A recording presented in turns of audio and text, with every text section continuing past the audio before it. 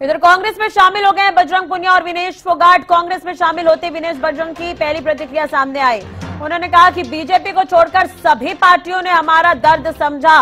तो विनेश फोगाट ने ये बड़ी बात कही है, जिसमें उन्होंने कहा कि बीजेपी को छोड़कर सभी पार्टियों ने हमारा दर्द समझा। मैं एक ऐसी पार्टी से जुड़ी हूँ जो महिलाओं के साथ खड़ी है। बुरे समय में पता चला कि अपना कौन है। कांग्रेस ने हमारे आंसुओं को समझा। हरियाणा कांग्रेस के सभी नेताओं का धन्यवाद किया है बजरंग पुनिया ने। कांग्रेस पार्टी को लेकर कहते हुए नज़र आए कि कांग्रेस पार्टी को और मज़बूत करेंगे। जैसे पहलवानी में मेहनत की, ऐसे ही पार्टी में भी करेंगे। तो ये बड़ी बात ज्वाइनिंग के बाद कहते हुए नज़र आए, बजरंग पुनिया और विनेश फोगाट, आज इन्होंने पार्टी ज्वाइन कर ली है और ज्वाइनिंग के बाद इन्होंने बड़ी बात कही है। तो कांग्रेस में शामिल हो गए बजरंग पुनिया और विनेश फोगाट और इस दौरान उनकी पहली प्रतिक्रिया भी सामने आई है, जिसमें उन्होंने कहा कि बीजेपी को छोड़कर सभी पार्टियों ने हमारा दर्द समझा है। कांग्रेस पार्टी का मैं बहुत बहुत धन्यवाद करती हूँ, क्योंकि जब बोलते हैं ना कि बुरे टाइम में पता लगता है कि अपना कौन है। जब हम रोड पे घसीटे जा रहे थे तो छोड़ के बीजेपी को देश में जितनी भी पार्टियाँ हैं, वो हमारे साथ में थी, हमारे दर्द को समझ पा रही थी, हमारे आंसुओं को समझ पा रही थी।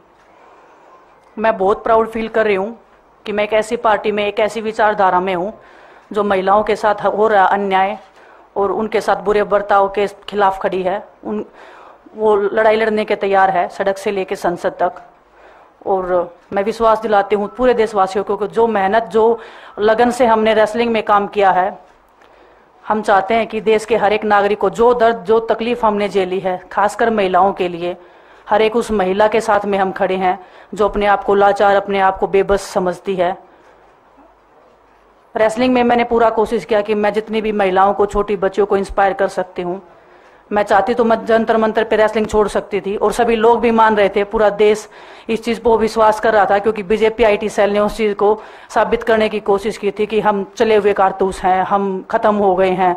और मैं धन्यवाद दूँ, धन्यवाद दूँगा केसी जी का, हरियाणा के प्रभारी हमारे दीपक बावरिया जी का, अध्यक्ष हमारे उदयपान जी का, पवन खेड़ा जी का, और विनीत पुनिया जी का, और जितने भी कांग्रेस के हमारे लीडर हैं उन सब का कि हमें विनेश ने बताया कि बुरे समय में हमारे साथ खड़े हुए।